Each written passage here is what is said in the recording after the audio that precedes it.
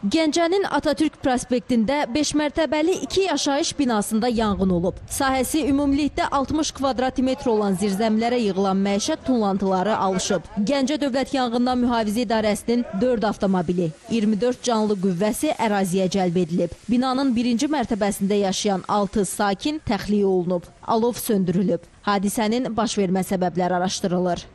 Qardaşımın qızı zəng elədi ki, yanğın baş veribdi. Mən də yürə-yürə gəldim. Yanğın zirzəmidə olubdu. İki qon, bir qonşudan bizə keçibdi. Keçən səfər də yanmışdı, indi də yandı. Bəli, bəli, qəsdən də. Saatlı rayonunun Qarayev kənd kəndində ümumi sahəsi 220 kvadrat metr olan bir mərtəbəli, 5 otaqlı evin dam örtüyü 220 kvadrat metr sahədə, 4 otağı və mətbəxi 140 kvadrat metr sahədə yanıb. Evin qalan hissəsi və bitişik talvar alovdan mühafizə olunub. Yevlaxda da yanğın qeydə alınıb. Uşaq bağçasının yerləşdiyi iki mərtəbəli binanın birinci mərtəbəsindəki xidməti otaq alışıb. Hadisə nəticəsində yataq dəstləri yararsız hala düşüb. Fövqəladə Hallar Nazirliyi əməkdaşları alovu söndürüblər.